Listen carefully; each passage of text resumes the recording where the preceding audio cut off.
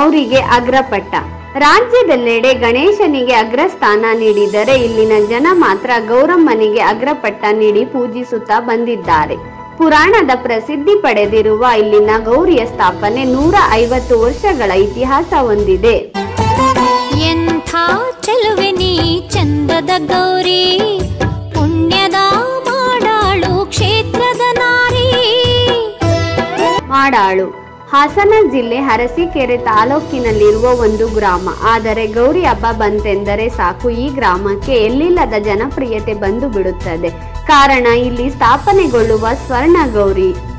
ಭಕ್ತರ ಬೇಡಿಕೆಗಳನ್ನು ಈ ಸ್ವರ್ಣ ಗೌರಿಯು ಈಡೇರಿಸುತ್ತಾಳೆಂದು ನಂಬಿರುವ ಇಲ್ಲಿನ ಜನರು ಪ್ರತಿ ವರ್ಷ ಗೌರಿಯನ್ನು ಆರಾಧಿಸುತ್ತಿದ್ದಾರೆ.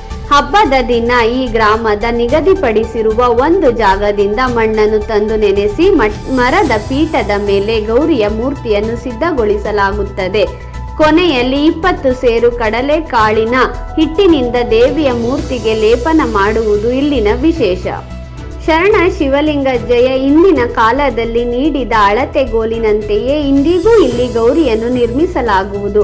ಕೊನೆಗೆ ಕೋಡಿಮಠದ ಸ್ವಾಮೀಜಿಗಳು ಇಲ್ಲಿಗೆ ಬಂದು ಗೌರಮ್ಮನಿಗೆ ವಜ್ರದ ಮೂಗುತಿಯನ್ನು ತೊಡಿಸಿ ಪ್ರಾಣ ಪ್ರತಿಷ್ಠಾಪನೆ ಮಾಡುವುದು ಇಲ್ಲಿ ಅನಾದಿ ಕಾಲದಿಂದ ನಡೆದು ಬರುತ್ತಿರುವ ಸಂಪ್ರದಾಯ. ಗೌರಿ ಹಬ್ಬದ ದಿನ ಸ್ಥಾಪನೆಗೊಳ್ಳುವ ಗೌರಮ್ಮನನ್ನು ಒಂಬತ್ತು ದಿನಗಳ ಕಾಲ ದರ್ಶನ ಮಾಡಬಹುದು. ಕೊನೆಯ ದಿನ ಗೌರಿಯನ್ನು ಉತ್ಸವ ನಡೆಸಿ ಕಲ್ಯಾಣಿಯಲ್ಲಿ ವಿಸರ್ಜಿಸಲಾಗುತ್ತದೆ. ಗೌರಿಯನ್ನು ನೀರಿಗೆ ಬಿಡುವಾಗ ಹಾಕಿದ ಮೂಗುತಿಯನ್ನು ತೆಗೆಯಲಾಗುತ್ತದೆ. ಆಗ ಗೌರಿಯು ಅಳುವಂತೆ ಕಾಣುತ್ತಾಳೆಂಬುದು ಭಕ್ತರ ನಂಬಿಕೆ. ಇಲ್ಲಿನ ಗೌರಿಗೆ ಕರ್ಪೂರದ ಆರತಿ ಎಂದರೆ ಬಹಳ ಪ್ರಿಯವಂತೆ. ಅದಕ್ಕಾಗಿ ಇಲ್ಲಿಗೆ ಬರುವ ಸಾವಿರಾರು ಜನರು ಹರಕೆ ಹೊತ್ತು ಗೌರಿಯ ವಿಸರ್ಜನೆ ದಿನ ಕರ್ಪೂರ ಹಚ್ಚಿ ದೇವಿಗೆ ಸಮರ್ಪಿಸಿ ಭಕ್ತಿ ಮೆರೆಯುತ್ತಾರೆ.